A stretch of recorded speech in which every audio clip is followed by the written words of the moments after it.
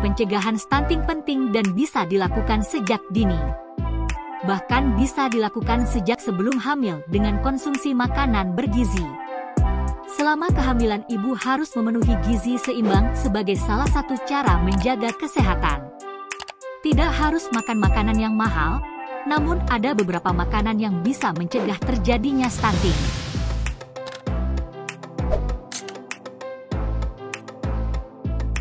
Satu, tahu dan tempe.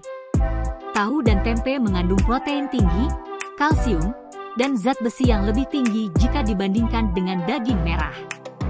Kandungan protein mudah dicerna sehingga mempengaruhi gizi anak. 2.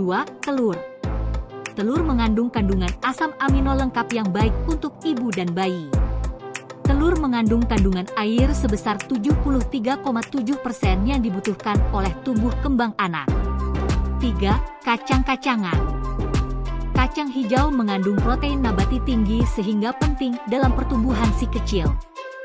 Kacang hijau kerap disajian sebagai PNT, pemberian makanan tambahan, dan pelengkap empasi balita. 4.